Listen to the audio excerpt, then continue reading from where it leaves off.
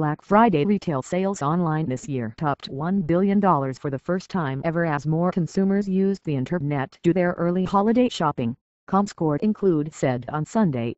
Online sales jumped 26% on Black Friday to $1.04 billion from sales of $816 million on the corresponding day last year, according to ComScore data. Amazon.com was the most visited retail website on Black Friday, and it also posted the highest year-over-year visitor growth rate among the top five retailers. Walmart stores includes website was second, followed by sites run by Best Buy Company, Target Corporation and Apple include, ComScore noted. Digital content and subscriptions, including ebooks, digital music and video, was the fastest growing retail category online, with sales up 29% versus Black Friday last year, according to ComScore data.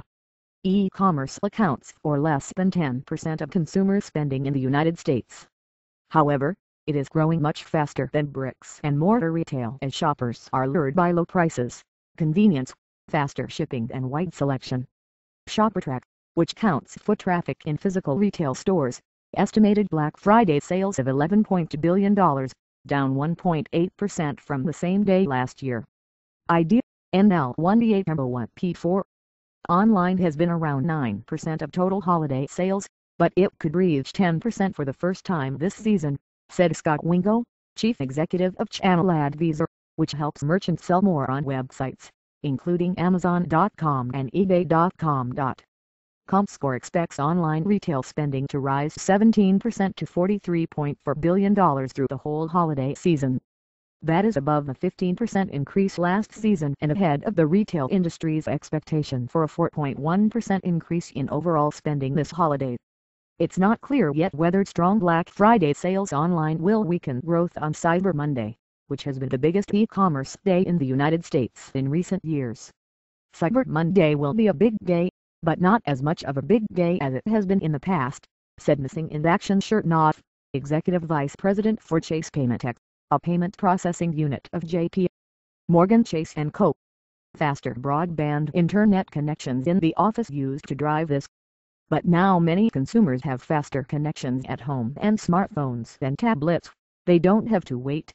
Mobile shopping growth A big source of online shopping growth this holiday season has come from increased use of smartphones, which let people buy online even when they are in physical stores, and buy tablet computers, which have spurred more online shopping in the evenings, Wingo and others said.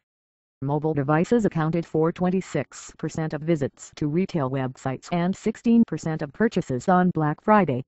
That was up from 18.1% and 10.3%, respectively, on the same day last year, according to International Business Machines, which analyzes online traffic and transactions from 500 U.S. retailers Amazon and eBay benefit from increased use of mobile devices for shopping because they are consistently the top two online retail destinations for mobile users, Channel Advisor's Wingo said. Amazon.com was the most visited retail website on Black Friday, with more than 28 million visits, according to Hitwise. Worth noting, eBay runs one of the largest online marketplaces, rather than being a retailer, so its online traffic was not reported by Hitwise. However, eBay said the volume of mobile transactions on its marketplace jumped 153% on Black Friday from a year earlier. Chanel clients' same-store sales on Amazon.com shot up 38% on Black Friday, compared with a year earlier. Last year's year-over-year growth was 50%.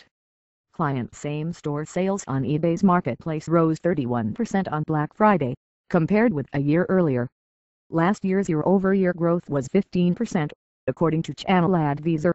Price pressure. While mobile devices may be good for sales, they may not be so good for retail profit margins.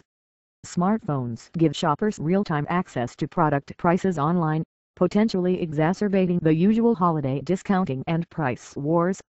Black Friday online transactions jumped almost 30%, but the average ticket price was down more than 11%, according to Chase Paymentech which reports data from its 50 largest e-commerce merchant clients. It's driving prices down, Chernoff said. Consumers are checking prices in stores and showing the retailer, and the retailer will succumb to the lowest price online so they don't lose the consumer.